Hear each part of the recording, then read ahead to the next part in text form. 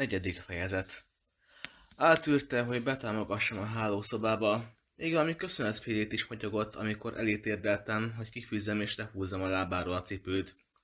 Csak akkor makacsolta meg magát, amikor a fürdőszobába is ki akartam kísérni.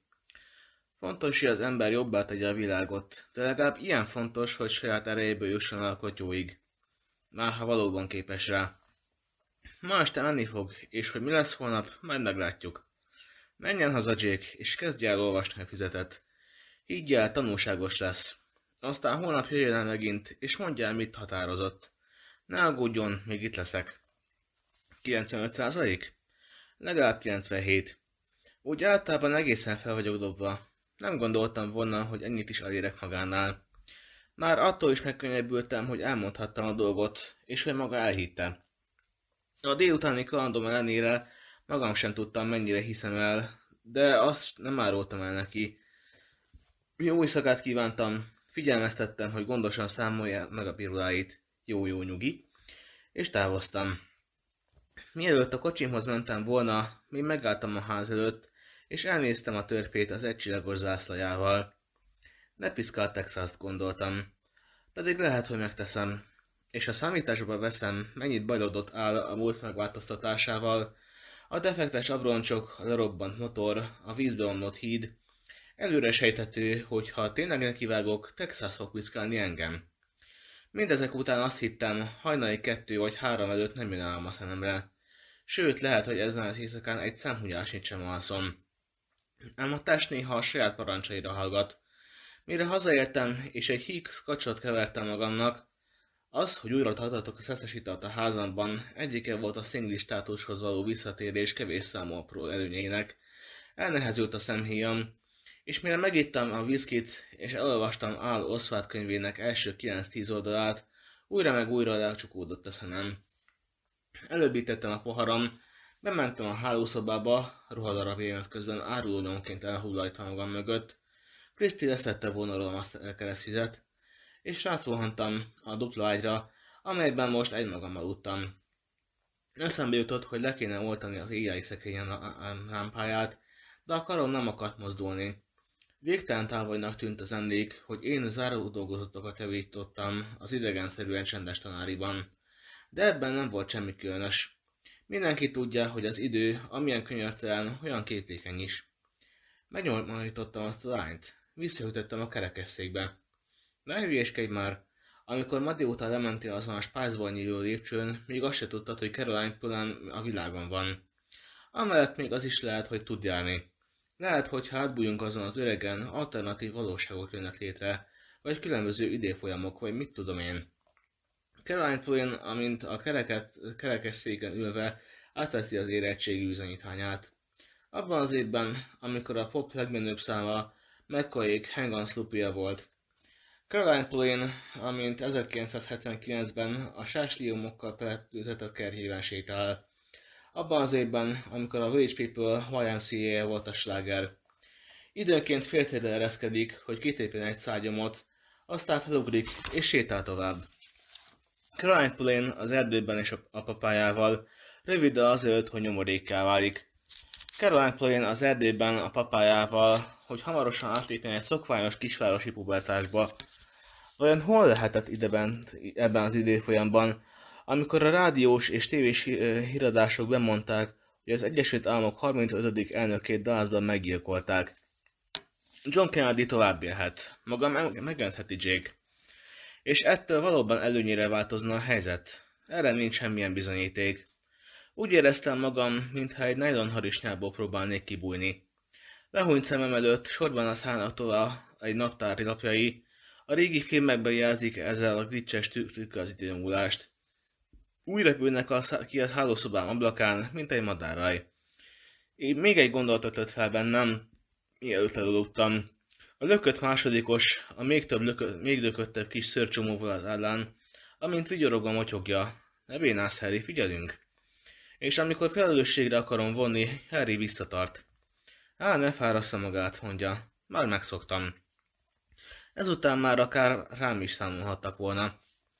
A kora reggeli világosságban madárcsicsergés közepette arra ébredtem, hogy az arcomhoz kapok. Úgy látszik, sírhattam ébredés előtt. Álmodtam valamit, és bár már nem emlékeztem rá, szomorú álom lehetett, mivel hogy soka, soha nem voltam siránkozós fajta. Az arcom azonban száraz volt, tehát most sem könnyeztem. Az éjjeli szekrényen álló óra felé fordítottam fejem, és láttam, hogy két perc múlva hat. A fény minősége arra utalt, hogy gyönyörű júniusi napunk lesz, és a tanításnak vége. A nyári vakáció első napjának a tanárok általában ugyanúgy örülnek, mint a diákok, de én szomorú voltam, nagyon szomorú. És nem csak azért, mert súlyos döntés előtt álltam. Úton a fürdőszoba felé három szó hasított az agyamba. Kovavunga, Buffalo Bob.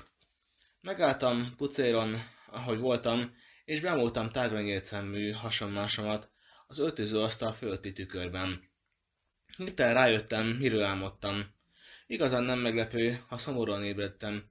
A tanáriban voltam, és az angol irodalmi írt témák felnőtteknek című kézikönyvet olvastam, miatt a folyosó végén a tornateremben újabb iskolai kosárlabda meccs kanyargott a végső csengetés felé.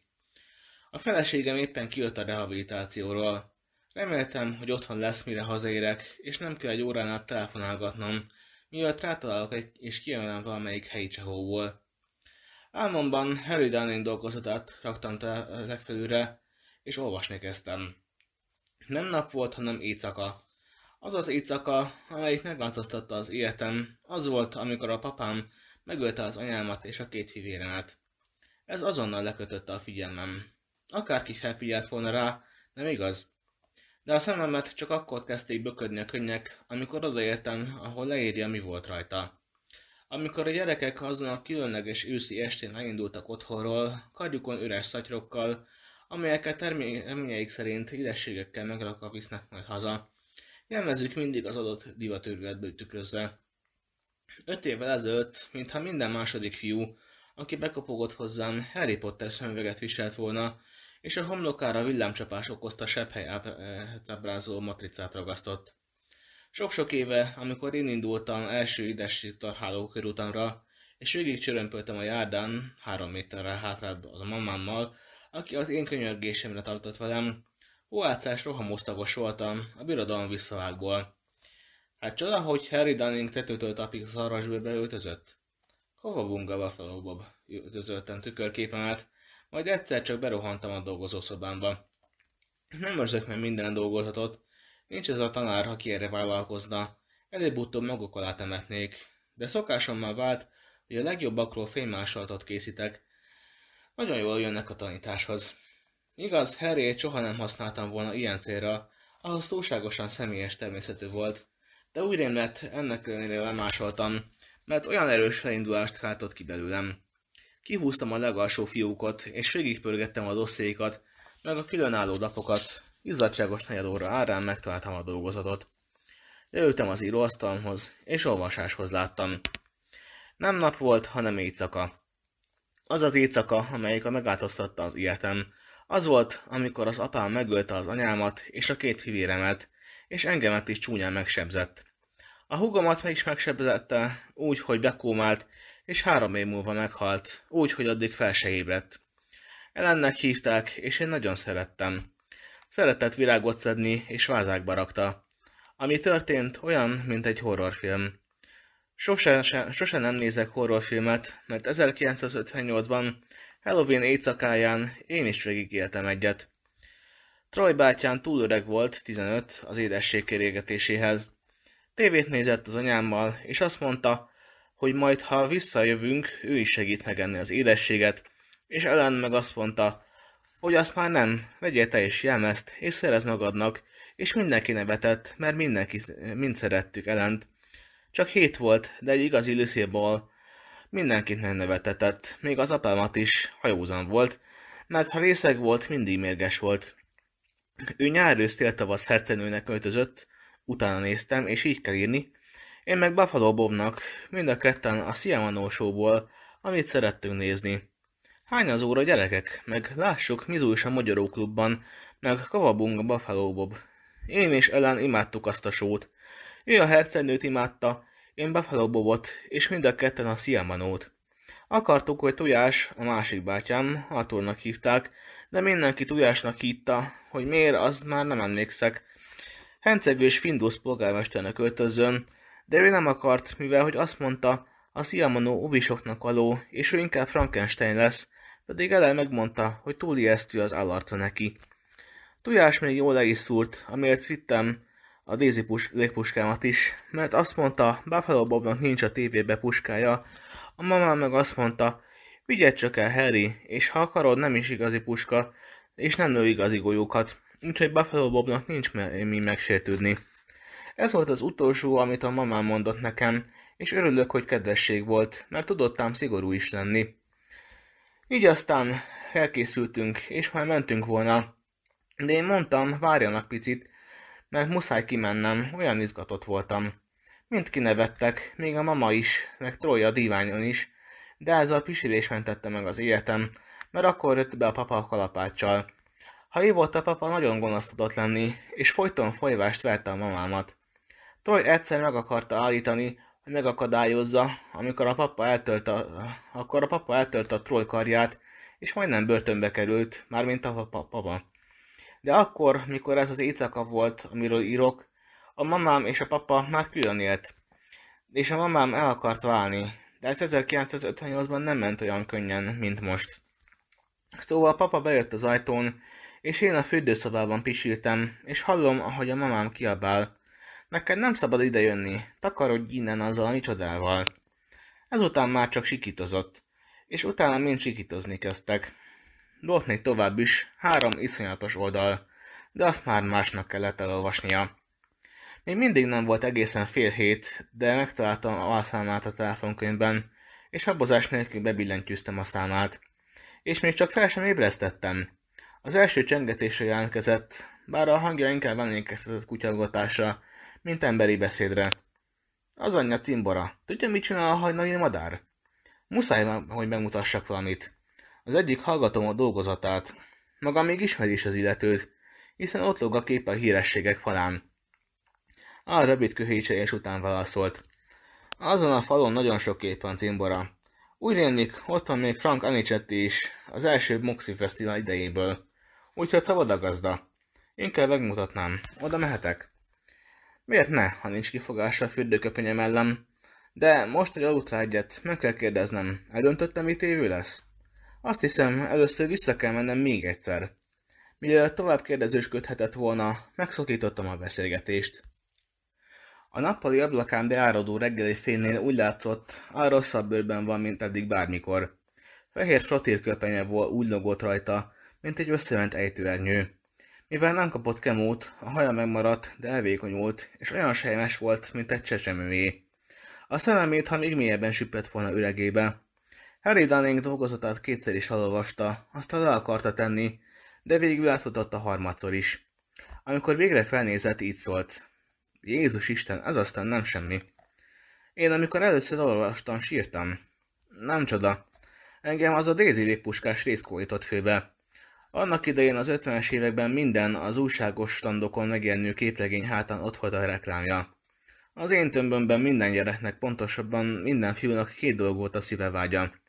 Daisy légpuska és egy mosómedve szörmés sapka, ami a Davy Crockett viselt. Igaza van, golyó nem élt hozzá, még ártalmatlan golyó se, de mi egy kis Johnson-féle bébiolajat öntöttünk a csövébe, és ha aztán levegőt is pumpáltunk bele, és meghúztuk a ravaszt, kék füstöt eregetett. Ismétlen nézett a fénymásolt lapokra. És az a disznó tényleg kalapács ölte meg a feleségét és három gyerekét? Atya világ. Sorra nekik esett, írta volt Harry. Berohantam a nappaliba, és csupa vér volt a fal, a díványokon meg valami fehér dolog. Az anyám agya volt. Ellen a földön feküdt a hintaszékkel a lábán, és a füléből meg a hajából folyt a vér. A tévé még mindig ment, az a sorozat, amit a mamám úgy szeretett, Ellery Queenről, aki bűnök után nyomoz.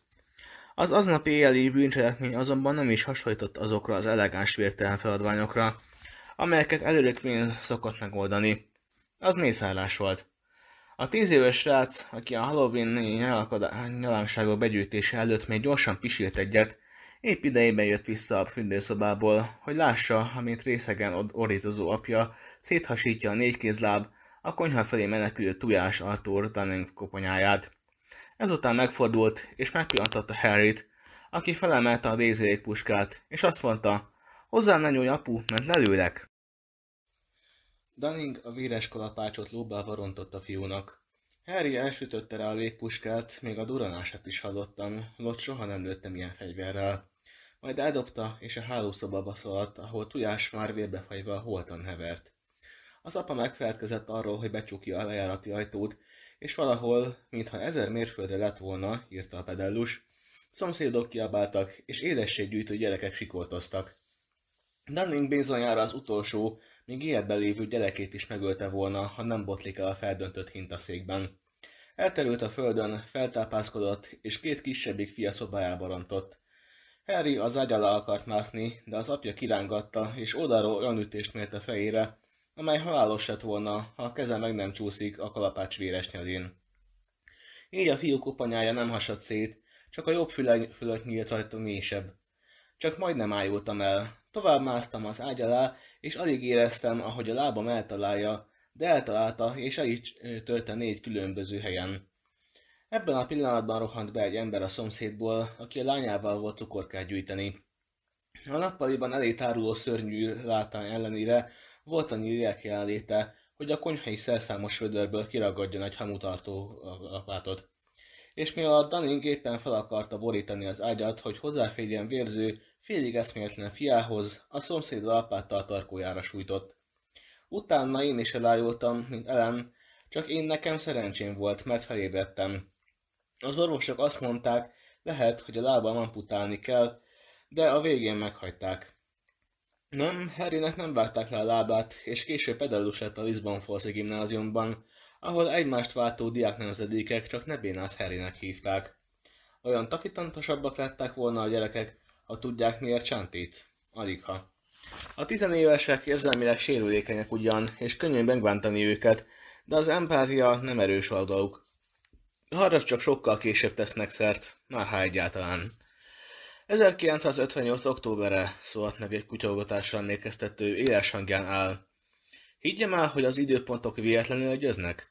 Emlékeztem, mit mondtam Frank Anicetti tizenéves változatának, a Shirley Jackson féle ebeszélésről, és elmosolyodtam.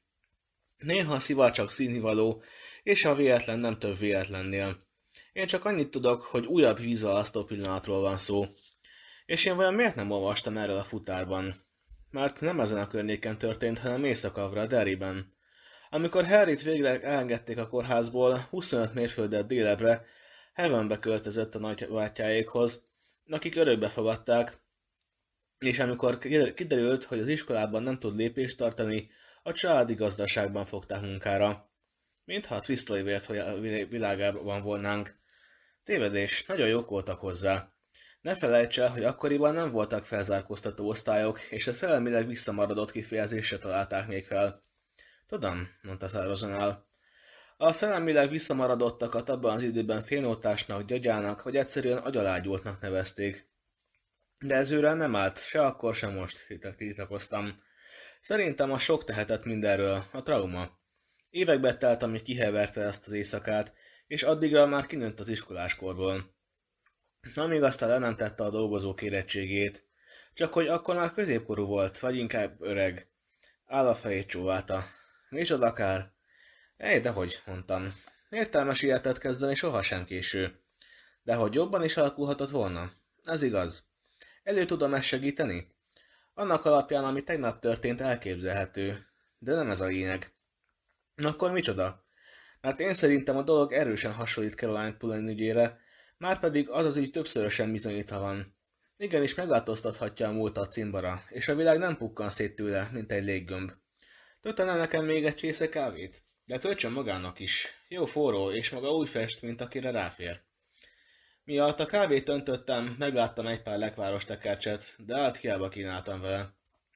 A szilárdétel fájnyelés közben, de ha minden áron kalóriához akar juttatni, van a hűtőben hat doboz ensel. Szerintem olyan az íze, mint a hűtött takonyé, de legalább lecsúszik valahogy. A tálalóban találtam egy boros poharat, abba töltöttem a bioszirupot.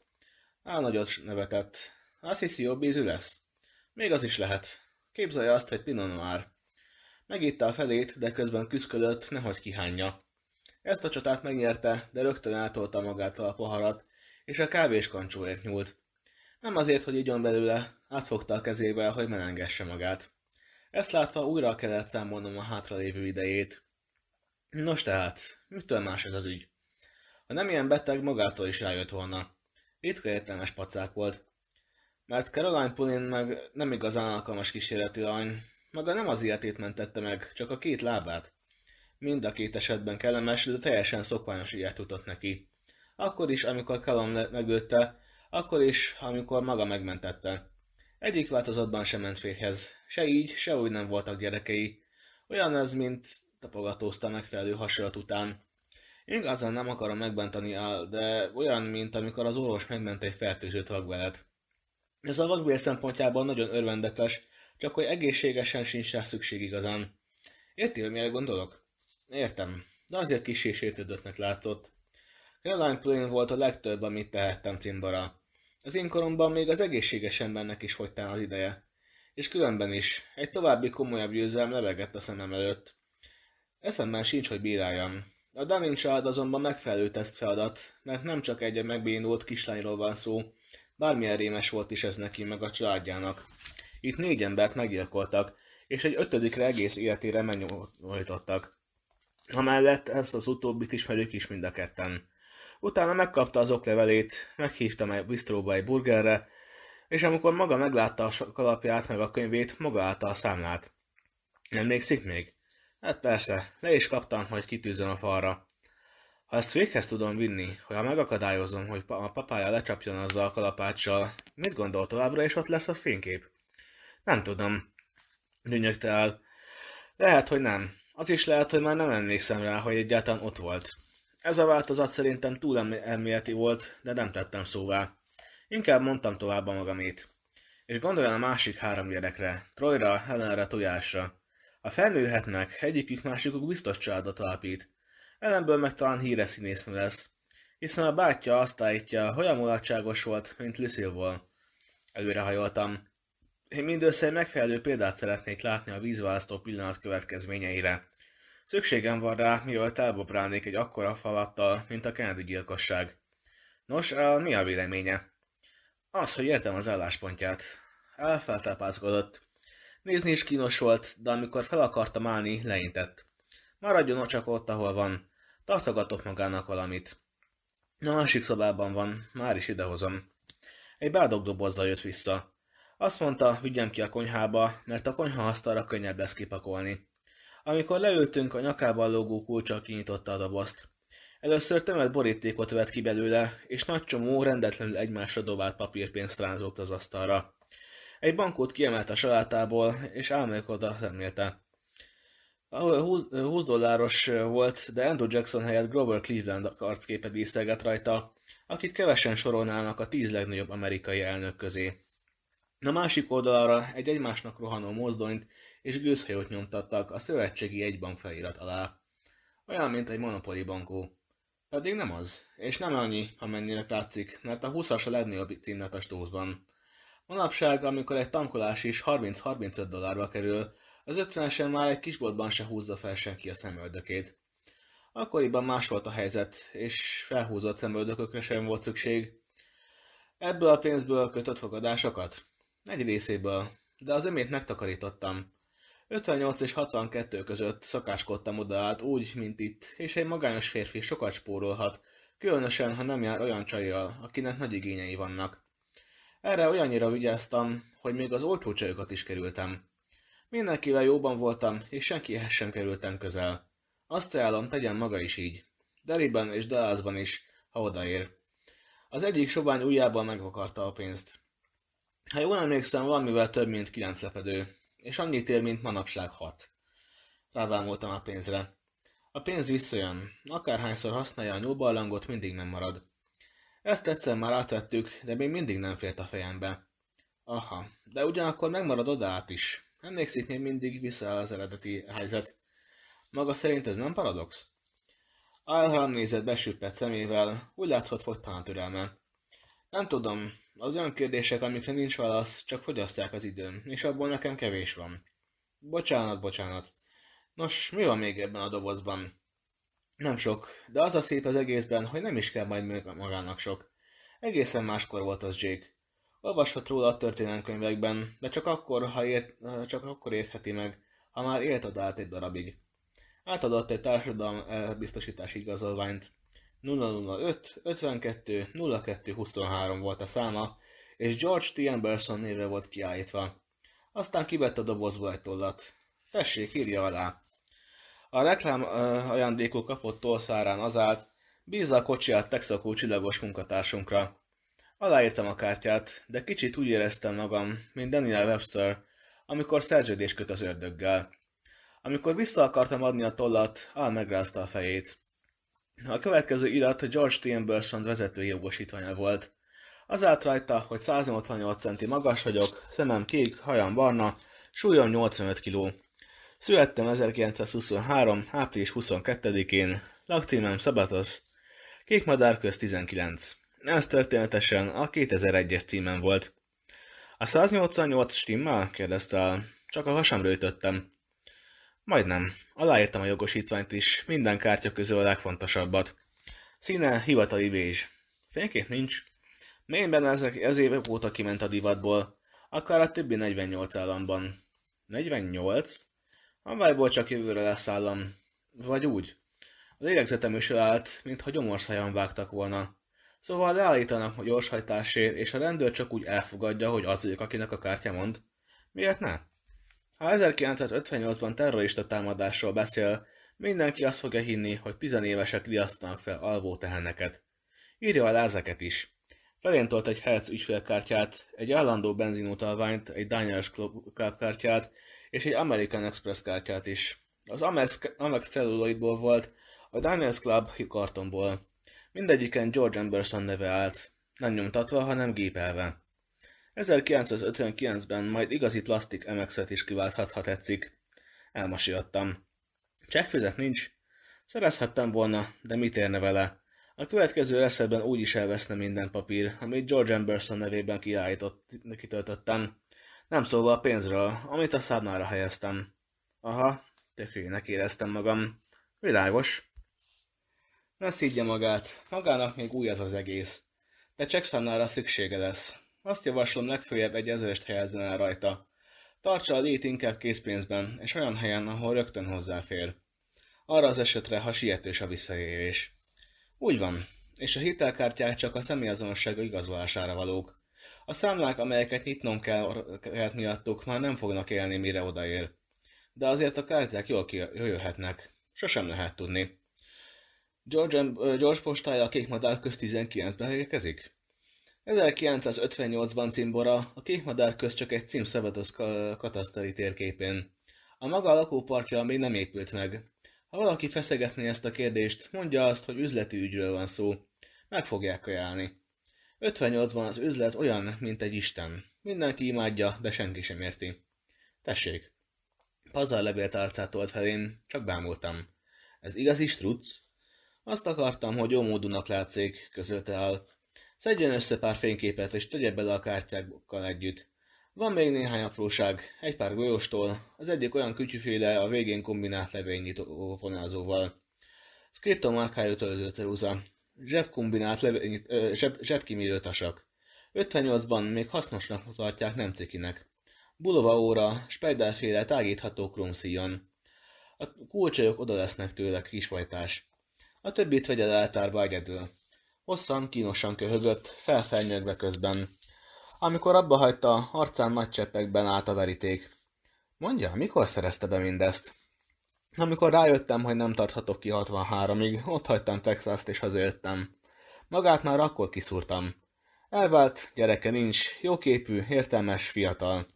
Jaj, ezt majdnem majd elfejtettem. A nevet egy sírkörről vettem a Szent Cília temetőjében, és írtam egy folyamatványt mély állam külügyminiszterének. Azzal átadta a születési bizonyítványomat. Végigfutattam az ujjaimat a domborművű bérmeltesítésen. Sejmesen hivatalos volt a tapintása. Amikor felnéztem, újabb papírlapot láttam az asztalon. Sportversenyek 1958-1963 volt a fejléce. Nehogy elveszítse. Nem csak azért, mert ebből fogja fenntartani magát, hanem azért is, mert ha illetéktelen kezekbe kerül, egy csomó kellemetlen kérdése válaszolhat. Különösen, ha túl sokat kasszíroz. Mindent visszarámoltam a dobozba, Áll ismét megrázta a fejét. Van a szekrényben egy, szekrényben egy valadi Lord Buxtonos oktatáskám a maga számára. A szélei divatosa vannak koptatva. Nincs szükségem rá. Van hátizsákom. Ott van a csomagtartóban. Ez egy jót mutatott. Ott, ahová készül, csak a cserkészek viselnek hátizsákot, ők is csak akkor, ha kirándulnak vagy táborba mennek. Sokat kell még tanulni a cimbora, de ha megnézi, hová lép, és nem kockáztat fölöslegesen, akkor menni fog. Megértettem, hogy valóban útra fogok kelni, méghozzá rövidesen, és jóformán minden felkészülés nélkül. Úgy éreztem magam, mint egy látogató, aki felkeresi a 17. századi London dokjait, és egyszer csak elrabolják matróznak. De hát, mit fogok csinálni? A kérdés inkább megegésnek hallatszott. Al felvonta bozontos, ritkuló hajához hasonlóan galambő szemöldökét. Megmenti a Dunning családot. Nem ebben állapodtunk meg? Nem így értem. Mit tegyek, ha megkérdik tőlem, miből élek? Mit mondjak akkor? Meghalt a gazdag nagybátyja. Már elfejtette? Mondja azt, hogy szigorúan beosztja az ölébe pottyant örökséget, hogy kitartson addig, amíg megír egy könyvet. Minden angol tanárban ott bujkál egy frusztrált író. Vagy tévednék? Nem, ebben sem tévedett. Csak nézett rám, csoncsoványan, viaszfehér arccal, de együttérzőn, talán még szánakozva is. Végül csendesen megkérdeztem. Elkérdezte. Bazi nagy feladat, nem igaz? De igen, és én, de én csak egy kis ember vagyok áll. Ez Oswaldról ugyan is elmondhatná. Kis mitogrász, aki lesből lőtt. Harry Dunning napja pedig a fiú dolgozata szerint hitvány kocsma töltelék kalapáccsal. Mondja múlt időben. Meghalt, só senki a börtönben, a mérgezésben. Harry azt mondja, valami romlott csigerázat, hogy is tudom mi az a csiger. Elégszer találkoztam vele, amikor a Fülöp-szigeteken állomásoztam. Vesztemre még meg is kóstoltam. De amikor maga odaállt lesz, a fószer még nem halt meg, ahogy Oswald se. Ah, tudom, hogy beteg, és hogy fájdalmai vannak. De nem kísérne el a bistróba? Tudja, most használtam először ut és utoljára az által kedelt megszólítást. Tudja, cimbora, nem merek ebbe egy időbe kezdeni. Félek. Nem is mulasztanám el, semmi pénzért. Kezét a hóna alá csúsztatta, és eltorzult arccal feltápászkodott, micsorgása az inyéig húzódott. Hozzad az oktatáskát, én felöltözöm. Három nyolc volt, amikor elkinyitotta az az iskolakókocsit, amely híres Fatburger hajlékául szolgált. A pult mögött kísérletesen csillogtak, villogtak a króm alkatrészek. A magas bászlékek, mint ha azt volna, Többé senki sem ül majd rajtunk. A régi módi nagy cukorszórók pedig, mintha válaszolnának, többé senki nem rázza minket. A mulatságnak vége. Kell a bínnek, jeleztem meg. A fejlődés útja, hogy rohadna meg, morogta el. Nyihegett a megerőtetéstől, de nem pihent meg. Már is indult a Spice felé. Mentem utána, hol az egyik, hol a másik kezemben fogva az oktatáskát. Benne az új életemmel. Ódivatú, csatos típus volt. Ha az LFG-ben megjelennék vele az osztateremben, legtöbb gyerek nevetésben tör neki. Néhányan, akiben már mimózott a stílusérzék, talán érzék, értékelték volna a retróbáját. Amikor nyílt az ajtó, újra megcsapott a zöldség, a fűszerek, a kávé illata. Ám most is a vámföld átnyújtotta a, kapcsolata felvillanyt. Úgy meredtem a szőke linoleum padlóra, mint egy tóra, amelyben akár éhezteltek is leskölthettek, és amikor áll a valamra ütött, összerezentem. Sajnálom, mondta, de ezt még el kell tennie. Egy 50 centest nyújtott felém. Tudja, a sárgakártyás embernek. Hogy ne tudnám, valóban teljesen megfelelkeztem a fejemből. A szívem olyan hevesen vert, úgy éreztem, a szemgőm is ütött az öregében. A nyelvemnek olyan íze volt, mint egy mosogatóroidnak, és amikor rá a kezembe nyomta a pénzérmét, kis ilyen elejtettem. Még egyszer vizsgatom végigmért. A farmer, egy, a egyelőre megteszi, de mielőtt éjszakavra indul, azt javaslom, álljon meg a főutca felső szakaszán, a Masonféle férfi divatnál. Könnyű szövet vagy kekészínű sávval jó lesz a hétköznapokra, eleganciának pedig bannont vigyen. Bannont? Az meg micsoda? Csak kérje, tudni fogják. És meg kell majd néhány elegáns, hosszú újú ingis, meg esetleg egy öltöny, továbbá egy pár nyakkendő, nyakkendő csiptetővel. És okvetlenül vegyen egy kalapot is, de nem baseball sapkát, hanem egy csinos nyári szalmakalapot. Szemes harkából könnyek peregtek, és ez jobban megrémített, mint bármi, amit mondott. Mi a baj el? Csak meg vagyok ijedve, pont úgy, mint maga. De azért semmi szükség érzelgős búcsújánatra. Mindegy, hogy meddig időzött 58-ban, ha visszajön két perc múlva itt lesz. Épp, hogy bekapcsoltam a kávéfőzőt. Ha minden jól ment, hiszünk egy csészével, maga pedig beszámol a történtekről. Ha, figyelmetes szó. Rebekhetne imát is. Az még belefér, nem gondolja? Hát persze, imádkozni fogok, hogy minden szép simán menjen. De ne legyen kócsakos az új környezettől. Tartsa észben, hogy veszélyes emberrel van dolga. Talán még oszadnál is veszélyesebb. Vigyázni fogok. Helyes. És amíg magára nem ragad a helyi zsargon, meg az egész atmoszféra, ne beszéljen sokat, csak annyit, amennyit okvetlenül muszáj. Közlekedjen lassan, és ne verjen hullámokat. Mosogni próbáltam, de nem igen sikerült. Az oktatáska egyre nehezebb lett, mintha nem pénz és hamis okmányok, hanem kövek volnának benne. Úgy éreztem, ájulás környékez. És mégis, úgy segítsen az Isten, az egyikénem most is a túloldalra kívánkozott, és alig várta az indulást. Be akartam járni az Egyesült Államokat a sezsuletemmel, Amerika várta a látogatásomat. Ál kinyújtotta keskeny, remegő kezét. Sok szerencsét, Jake. Az Isten áldja. Nem George-ot kéne mondania? Milyen igaz, George? És most menjen.